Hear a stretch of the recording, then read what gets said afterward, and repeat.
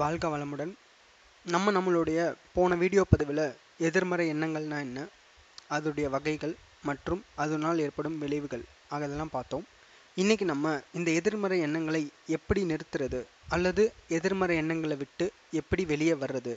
அப்படின்றத இன்னைக்கு நம்ம பார்க்க போகிறோம் ஸோ பொதுவாக வந்து எதிர்மறை எண்ணங்கள் வந்து யாரை வந்து அதிகமாக அஃபெக்ட் பண்ணுது அப்படின்னு சொல்லி பார்த்தீங்கன்னா ஆண்களை விட பெண்கள் தாங்க அதிக அளவில் எதிர்மறை எண்ணங்களுக்கு ஆளாகிறாங்க. ஏன் அப்படின்னு சொல்லி கேட்டிங்கன்னா ஆண்கள் பொதுவாக வந்து எப்பயுமே தங்களை பிஸியாக வச்சுக்குவாங்க வேலைக்கு போவாங்க வெளியே இருப்பாங்க. அவங்க வீட்டில் ரொம்ப நேரம் சும்மா இருக்கிறது வந்து ரொம்ப கம்மியாக இருக்கும். இதே பெண்கள் அப்படின்னு எடுத்தோம்னா பெண்கள் காலையில் எழுந்திரிச்சு குழந்தைங்கள கணவர் எல்லாரையுமே வேலைக்கு அனுப்புனதுக்கப்புறம் அவங்க வந்து காலையில் பத்து மணி அல்லது பதினோரு மணிக்கு அப்புறம் அவங்க கம்ப்ளீட்டாக வந்து ஃப்ரீயாக இருப்பாங்க. ஸோ அந்த டைமில் தான் அவங்களுடைய மைண்டில் வந்து திங்கிங் சும்மா இருக்காமல் எதையாவது ஒன்று சிந்திச்சு சிந்திச்சு சிந்திச்சு நம்ம மனசில் இருக்க அந்த நெகட்டிவ் திங்கிங் நெகட்டிவ் தாட்ஸ் அதாவது ஆட்டோமேட்டிக் நெகட்டிவ் தாட்ஸ் அப்படின்ற ஒரு டேர்ம்ஸ் யூஸ் பண்ணுறாங்க சைக்காலஜியில் ஸோ அதுக்கு அதிக அளவில் நம்மளே வந்து அதுக்கு இம்பார்ட்டன்ஸ் கொடுத்து கொடுத்து இதனால் இருக்குமோ இது இவங்களா இப்படி பேசியிருப்பாங்களோ அவங்க அப்படி பேசியிருப்பாங்களோன்னு நம்மளே ஒரு சிந்தனை பண்ணி பண்ணி பண்ணி அதுக்கு ஆளாகிறதுக்கு பேர் தாங்க எதிர்மறை எண்ணங்கள்.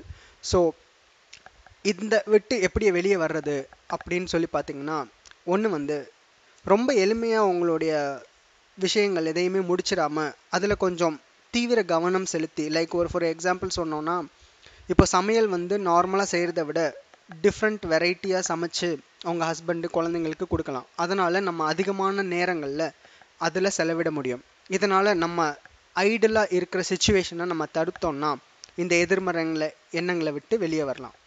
அடுத்தபடியாக பார்த்தோம்னா நம்ம அக்கம் பக்கத்தில் இருக்கிறவங்க நண்பர்கள் அவங்க கூடலாம் நல்லா பழகலாம் அவங்க கூட வெளியே போயிட்டு வரலாம். ஸோ அந்த மாதிரி பண்ணுறதுனாலையும் நம்ம நம்மளை பிஸியாக வச்சுக்கலாம். மூணாவது என்ன பண்ணலாம் அப்படின்னு சொல்லி கேட்டிங்கன்னா உங்கள் வீட்டை சுற்றி தோட்டம் அமைக்கலாம். அதனால் நீங்கள் சமைச்சு முடிச்சதுக்கப்புறம் நீங்கள் சும்மா இருக்க மாட்டீங்க. கண்டிப்பாக அந்த தோட்டத்தை பராமரிக்கணும் தண்ணி ஊற்றணும் உரம் போடணும். ஸோ நீங்கள் எப்பயுமே பிஸியாக இருப்பீங்க. உங்கள் மைண்டு ஃபுல்லாக அதில் கான்சென்ட்ரேட் பண்ணிகிட்ருக்கும் ஸோ உங்களுக்கு வேறு எந்த விதமான எதிர்மறை எண்ணங்களும் உங்களுக்கு வராது. இதுவும் முடியாதுங்க.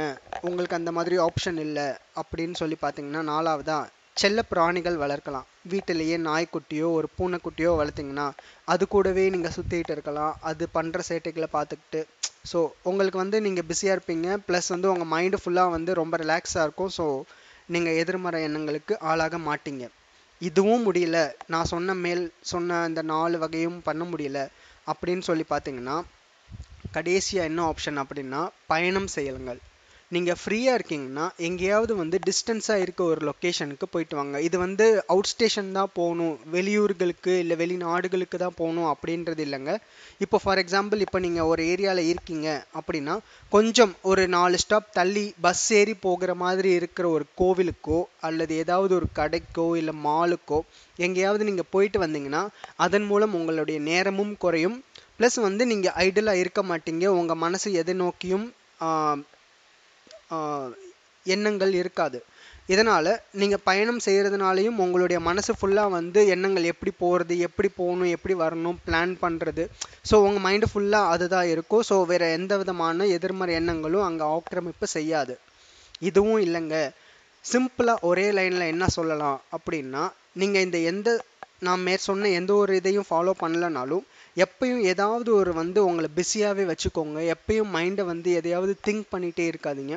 அதுவும் நெகட்டிவ் திங்கிங்கை கம்ப்ளீட்டாக அவாய்ட் பண்ணுங்கள் ஃபார் எக்ஸாம்பிள் இப்போ நீங்கள் ஏதாவது ஒரு விஷயத்தை பற்றி யோசிக்கிறீங்க அப்படின்னா அதை வந்து மேக்ஸிமம் வந்து பாசிட்டிவ் திங்கிங்காக திங்க் பண்ணுங்கள் இப்படி நடந்துருமோ அப்படி நடந்துருமோ போக முடியாதோ அப்படின்னு நினைக்கிறத விட நம்மளால் இதை செய்ய முடியும். இது நம்மளுக்கு சாத்தியம்தான் அப்படின்ற மாதிரி நீங்கள் திங்க் பண்ணுங்கள் என்னங்க?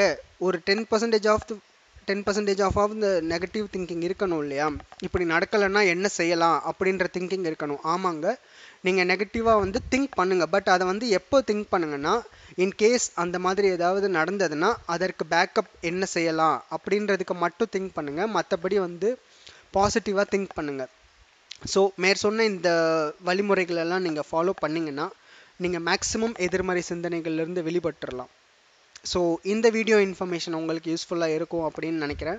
ஸோ இந்த வீடியோ உங்களுக்கு பிடிச்சிருந்ததுன்னா லைக் பண்ணுங்கள் கமெண்ட் பண்ணுங்கள் ஷேர் பண்ணுங்கள்